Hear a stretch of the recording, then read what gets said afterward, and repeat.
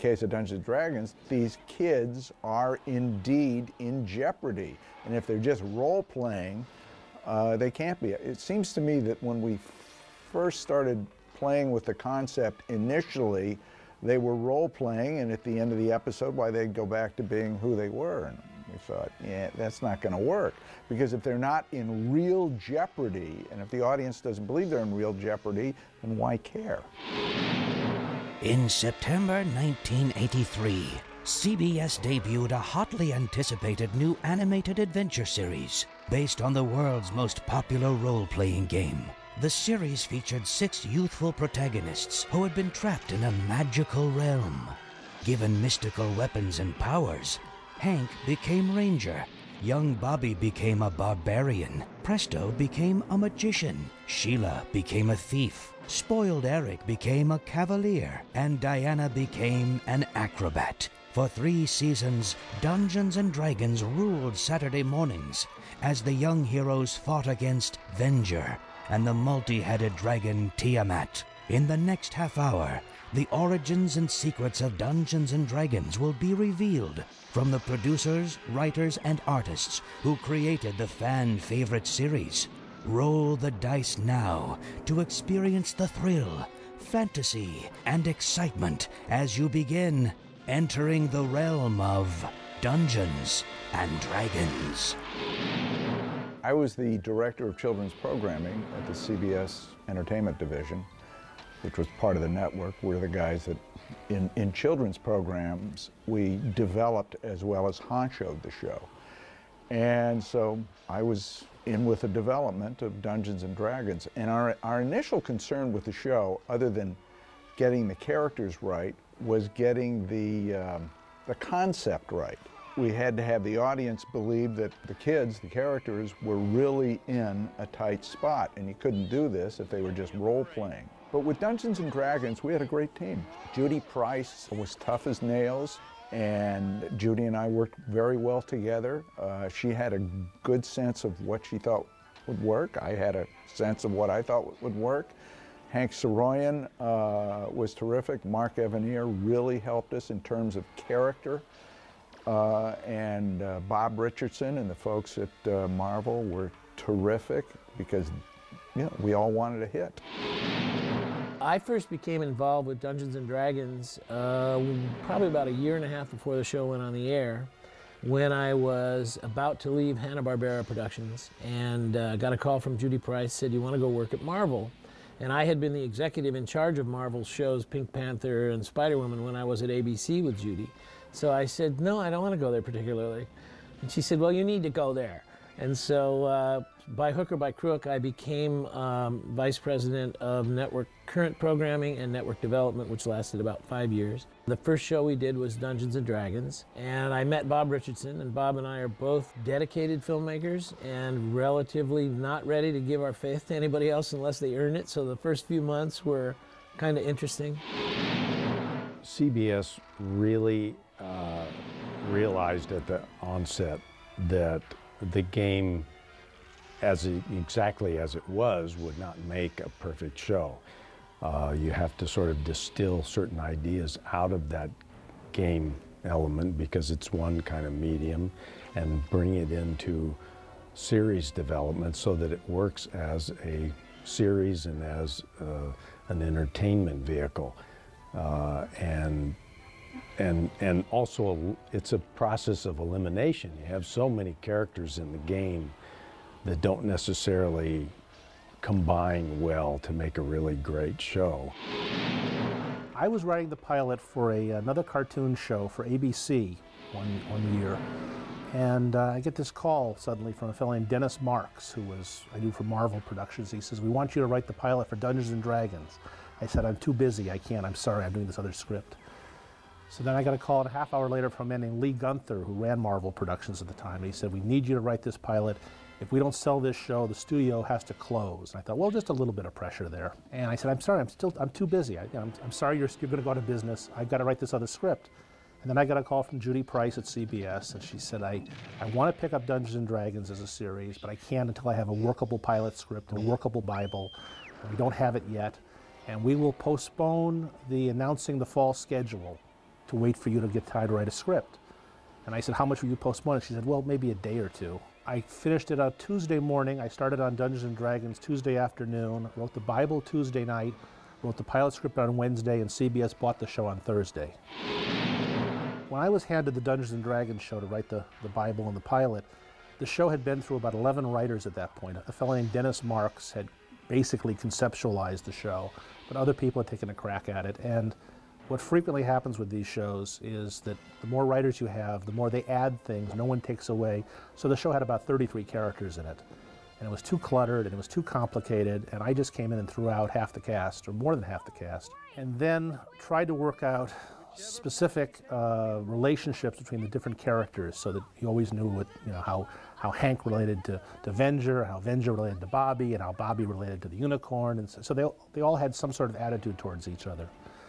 And uh, my job was kind of to simplify the show, and then later as other writers and people like Hank Saroyan and, and Jeffrey Scott got involved and Michael Reaves, they fleshed out what I started with and they built it into the show it became.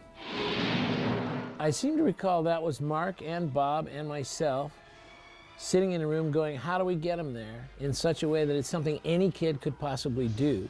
So there's a universal believability of how they got there. Uh, and then we thought that that was kind of a good idea, a cross between Space Mountain and uh, a roller coaster, where they go into that dark place first, and then they end up, oh my God, what's happening? And uh, it seemed to work.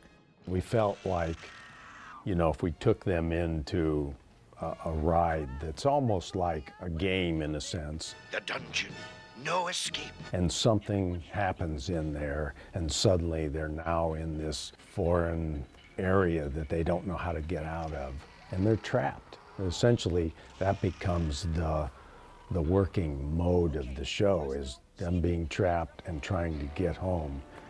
And, uh, and we felt like kids could understand, you know, being trapped away from home in this kind of bizarre land and there's evil characters there and so on. Uh, and that would make a tremendous uh, dramatic kind of presentation.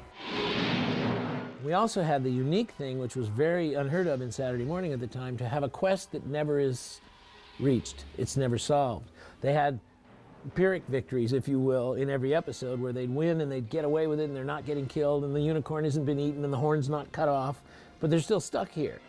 And uh, it was kind of risky to try that, but it sort of made the show more interesting because any one of the characters at any time could be just unbearably frustrated that they can't get out of here, which gave us a lot of humor from Presto and a lot of humor from Eric. And Hank was always the stalwart one. I mean, Hank was the one that was straight and narrow, and then everybody else was sort of built around him. It just sort of evolved into, into the way it was. It had really nothing to do with the game except that they were in this world trying to solve problems to get out. They had clues, they had thoughts, they had strange things happen that they had to decipher. So we started with the pilot uh, that uh, Mark Evanier did, which is high quality generally. I mean, Mark is just a screw around guy. And I had just come from Hanna-Barbera where my story editor on Trollkins with Joe Barbera was Jeff Scott, who I had come to like at ABC when he story edited Super Friends. And I figured the one thing we needed on this show to give it a fighting chance was the writing to be done efficiently. And Jeff was and remains the most efficient writer I know. He can take on a series and do the whole series uh, in one fell swoop, which is what we used him for in the first season of this and the first season of Muppet Babies. I uh, was not able to stay with Dungeons and Dragons because I was at the time writing uh, a variety show for Dick Clark's company. I was writing, I was story editing Richie Rich for ABC, and I was writing about 11 comic books at the time, and I just couldn't fit everything. I would have liked to stay with Dungeons and Dragons, but it was, it was actually more fun to just watch it afterwards, hand it off to other people the writing staff over the various seasons um, was more diverse than most of the shows I work on. I like to find one guy that really gets it and rely on him substantially. And uh, but this show just wouldn't allow that. The shows were too complex. We also had uh, a, a, very talented uh, art director named Takashi, who was involved with the development of a lot of the artwork. Um, basically, I supervised what he did, uh, and I also had another very talented artist named George Good, since passed away, uh, actually quite a few years back. Uh, and between those two guys, they were key people in terms of developing the look of the show. The question, uh, and it's come up before about why Venger only has one horn. And the reason is directly related to the art director that I worked with. And he, and this is, his name was Takashi, very talented guy. And he wanted Venger to only have one horn. I mean, it, he felt like two horns was very uh, cliche. And so we gave him one horn. And in spite of the fact that in animation you try to make characters kind of equal on both sides in case you have to flop them or whatever, and it's a little easier for animators. We thought, you know what, that's a cool idea, and we don't see Venger that much in the show, so fine, we'll make Venger with one horn. Fools! Enough! I will deal with them myself.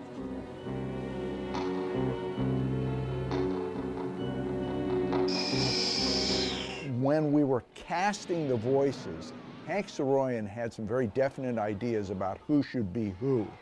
And quite frankly, his instincts were terrific.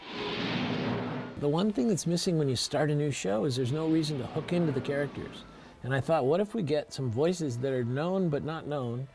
You know, we don't brag about who they are, we just let them be there. And uh, the first person I thought of, I think, was Willie Aames, who was a friend of mine. And uh, Donnie Most had been the only actor, in my opinion, on the Fonz and the Happy Days Gang series on ABC that really understood or at least inherently possessed the kind of energy that animation required. So those were the first two guys I went after. And then I was telling Willie what we were doing, and he said, Oh, you got to audition Adam. So then Adam came along, and then after that, we just started to listen to regular actors that were Saturday morning actors because I didn't want too many people that were novice to this art form. Greetings, young pupils. Hello, dearie. How'd he know my name? Dungeon Master knows all kinds of things. Huh. Everything except the way home. On the contrary, Cavalier, a portal to your homeworld lies within those mountains. Oh, yeah? What's the catch this time? Before you leave, you must destroy it. And if we destroy it, it can't get us home, right? Sheesh. How would we find it in the first place? Sidney Miller was like a gift. He just walked in one day and was Dungeon Master. I don't think there was a lot of question about it. Um, matter of fact, he helped us make Dungeon Master more benign than he might have been. He became much more of a Yoda character, talking in parables and things that uh, were much more interesting. One of the rules of casting a cartoon show in the 80s was that you do auditions and you audition everybody in town before you hire Frank Welker to do a voice. I think Frank was on every single show, one or two seasons, doing sometimes speaking voices, sometimes like on Dungeons and Dragons, animal sounds. Uh, Frank's real voice is pretty much the voice of Fred on the Scooby-Doo show, which he's been doing since the Paleolithic era. But he is this incredible talent who can sound like anything or anyone. He can sound like monsters or little helium-voiced creatures. And when Hank and I had our first lunch to discuss how the show would be cast, he had all these ideas, and I just said, okay, for the unicorn, just, just hire Welker. Don't waste your time. Peter Cullen had been a friend, and I knew he could handle Venger. Although it's interesting, Venger had so much screaming and so much loud, oppressive stuff, shouting, uh, that Peter and I began to try to judiciously schedule his time so that he wouldn't be in there acting with the other actors quite as much because if he had to do retakes because someone else screwed up, it was really taxing on his throat. I have the wizard's hat. Hand over the rest of your objects of power. We wanted a certain kind of reality. So the youngest voice that was played by Teddy Fields which is the character Bobby. We wanted a kid that sounded like a kid, like a real kid. You, you, otherwise, you have an, uh, an older actor doing a kid's voice, and many times that works really well in a sort of broader comedy, cartoonier type of show. But in a realistic kind of show like this, we wanted a young kid like that to really sound like a young kid and have the kind of uh, speech that a young kid brings to that type of performance. It's tough sometimes because a kid like that doesn't have the experience to move rapidly through scripts like, you know, seasoned actors. But still, we got a performance at, at the end of the line. We get a performance out of him that sounds like a kid, which is what we really wanted. Unbeknownst to me, my son, who actually had uh, joined a buddy in a cattle call uh, for an audition uh, at one of the uh, at one of the studios, and had been called in because they weren't happy with anybody else. And they'd heard his voice, and uh, he was a, a, kind of a pretty good actor, at least as an eight-year-old. And when we were listening to the voices, I obviously know my, what my son sounds like, so I took myself out of the judging and Judy and some others, Judy Price, the Vice President of Children's Programming, and Hank, and uh, I think Bob Richardson listened to the voices, and the voices were numbered. So nobody knew who was going for who, and they selected my son. Uh, and I had to sign some kind of special dispensation that said that I had nothing to do with it, and I did have nothing to do with it. And funny thing is, I remember after the first recording session. And here my, my kid is called, he's like eight or nine years old. He's called out of school to, you know, he gets to go over there. And of course he thinks it's fun and games because there's food and pop and he's out of school. And the voice director, uh, Hank Saroyan, called me that afternoon. He said, you got to have a long talk with Teddy. He thinks he's in recess. He says, I've got all these very highly paid professional actors and he's uh, putzing around. So that night, I had a very long talk with Theodore, who incidentally played Bobby the Barbarian. Uh, by the way, he's a dentist now. And I said, Teddy, it isn't fun in games. Well, after a while, he became One Take Teddy. He did that show, and then he went on to uh, be Mr. T's sidekick on NBC for three years. So he became a pretty good uh, voice actor.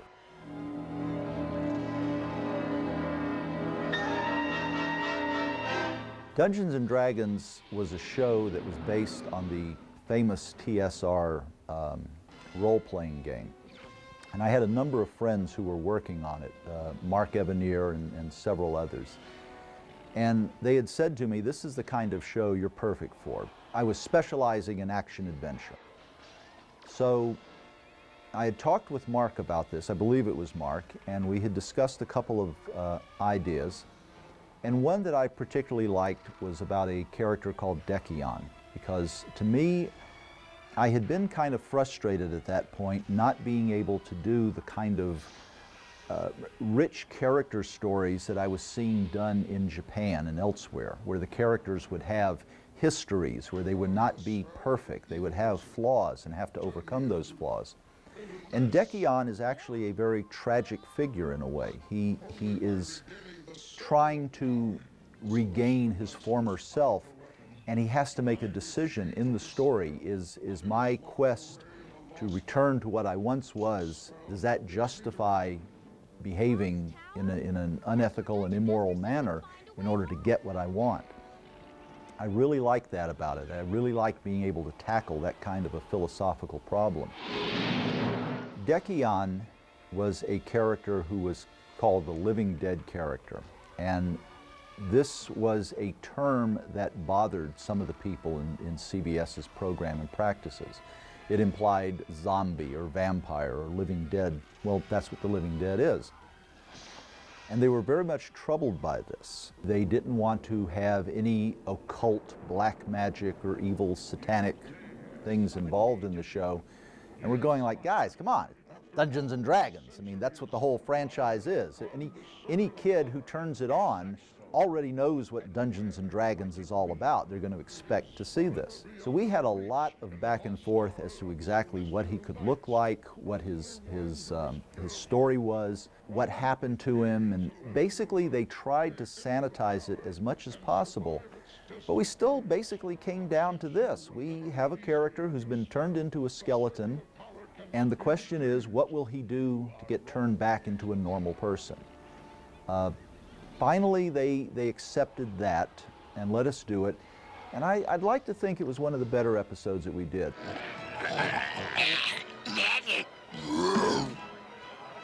Uh-oh. Help!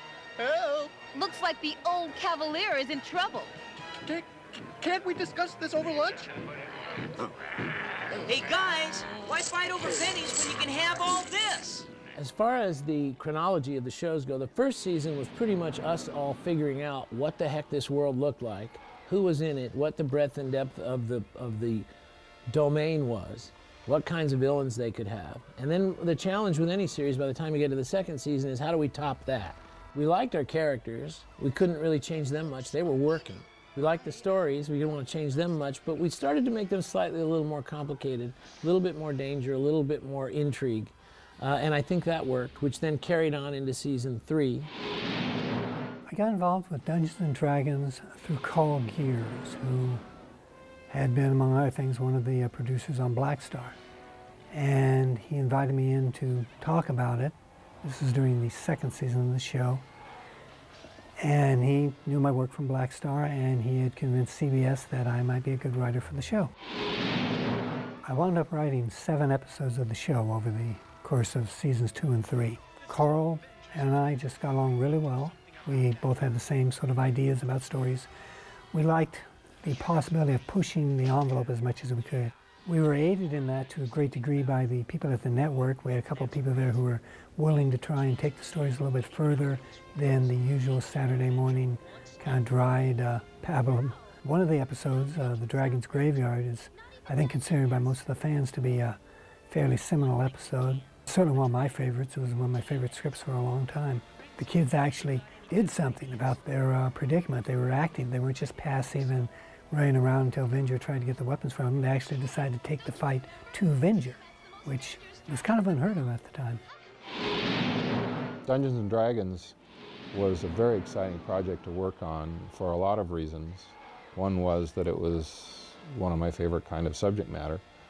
And the other was that the producer was a close friend, Karl Geurs. And we worked very closely on a number of episodes.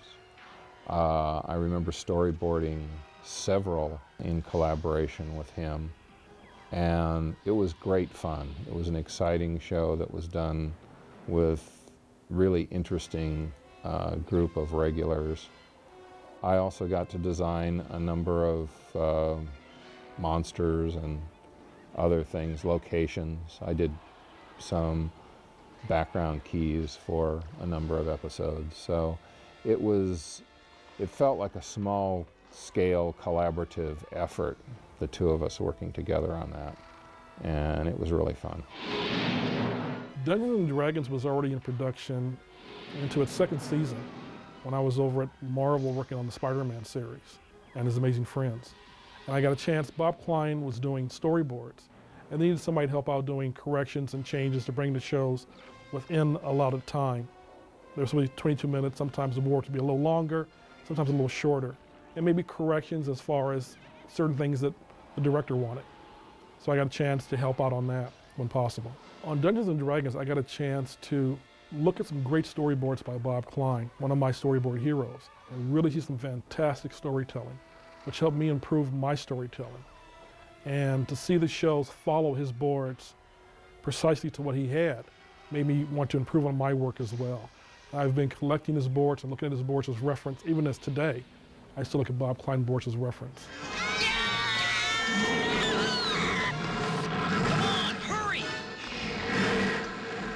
It's kind of an urban legend that the Dungeons and Dragons show embraced uh, satanic or evil morals, or even that it was canceled because of that. I, I, meet people who think the show was yanked off the air because of protest groups. The show was yanked off the air because the ratings were declining, which is the reason most shows are yanked off the air.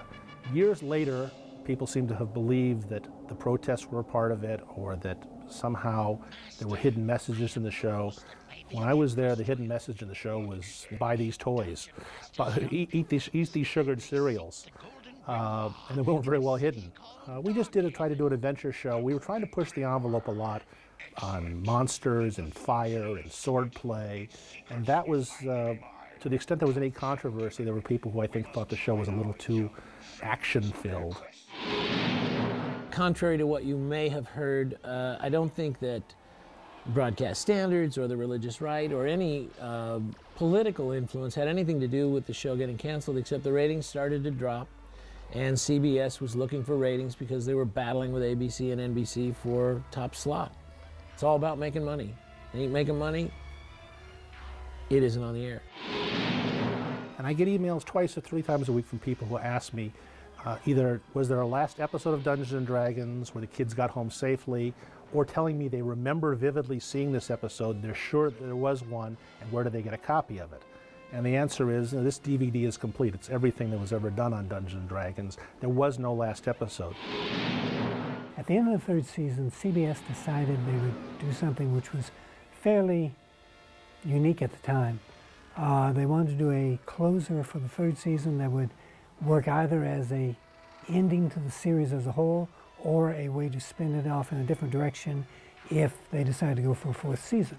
So they hired me to write the episode. We called it Requiem, and it basically did just that. We set up a new direction for the show to go, and if, if they were going to pick it up. If not, then we had a coda for, for the uh, series as an end.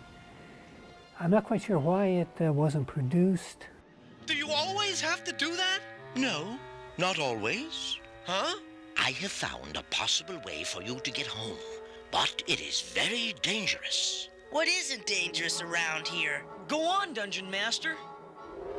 Far to the east. The fans for Dungeons and Dragons, it's amazing.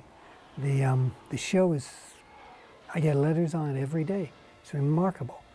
Um, particularly since I posted on my website the script for the um, the last episode, which I was hired to write and which never got produced. It's, it's really amazing. Um, I constantly get mail from people who tell me that they read the script and now they've achieved a, sort of closure with the show and they can sort of move on with their lives. I mean, it's very touching. It's fascinating to me that uh, Dungeons and Dragons, the cartoon that I helped develop along with Judy Price and Hank Saroyan and Mark Evanier and Bob Richardson, uh, has still got legs. Although when I think about it, we work very, very hard on each of those stories. Actually, I'm not surprised. It's great that it's lived this long, but I'm not surprised when I think about all the effort that went into making it. As far as the, the new DVD attention to, uh, to this series, uh, it actually delighted me. I had no idea this was happening. And uh, one of the things about Judy and Bob and me and Jeff Scott is that when we worked, we worked hardcore the whole time, 17 hours a day, seven days a week, trying to get this to be as perfect as possible. For what this was, I think it was as good a show as could possibly be done at the time.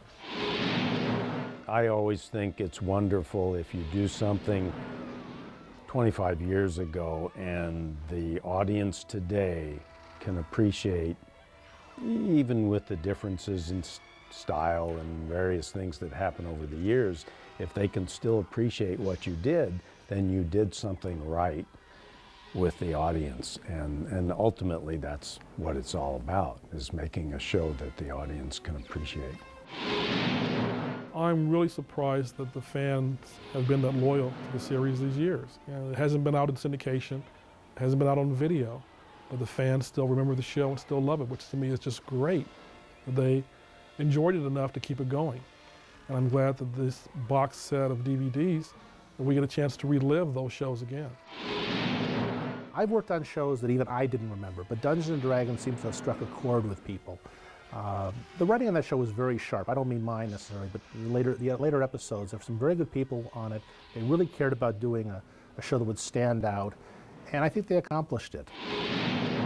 I think it's very nice that they're finally putting Dungeons and Dragons out on DVD. and We can all throw away those crummy bootlegs we bought. My oldest son, uh, Dr. Ted, uh, is very excited about the fact that Dungeons and Dragons uh, will be on DVD because uh, he wants to show it to his two little girls, one of whom right now is two and a half and the other is eight months old. And uh, I'm sure he'll have it running in his dental office. Uh, but I know that uh, he had asked me a couple of times if, if anyone could find a DVD. Well, now they can.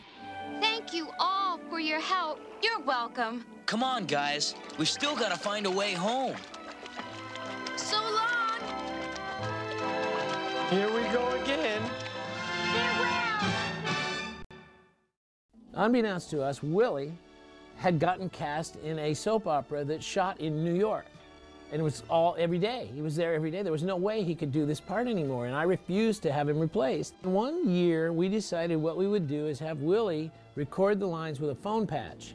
I would send him the script, we'd talk about it for about 20 minutes, and then he'd go through all the lines for Hank. Not the whole episode, just his lines.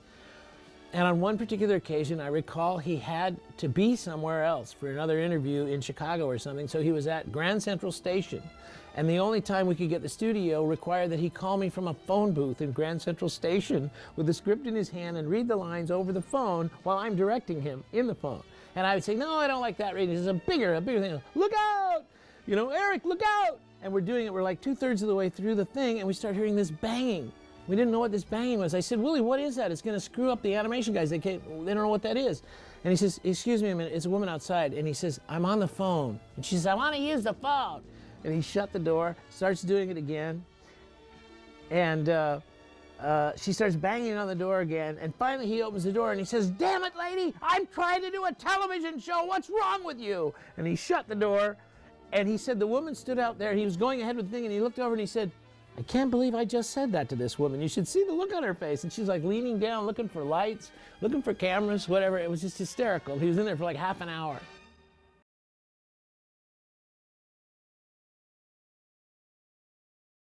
The portal lies within the maze of darkness.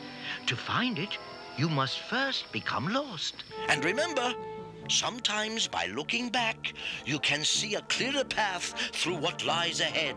Oh, brother, here he goes again. Remember, in darkness, look to the light. But remember, the fate of one is shared by all.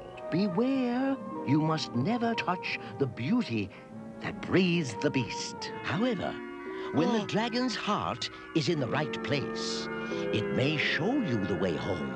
Its power is in the giving, not the keeping. When you need its protection most, you must give it away. You will find your way, or rather, your way will find you. But remember, in shadow there lies great danger and great rewards. Hey, wait a minute! What did you do with my magic shield? On this journey, knowledge will be your shield. Let's see. What would Dungeon Master say? You will find it unless it finds you first. It lies a long way off, yet in truth, it is very near. How is that? Boo!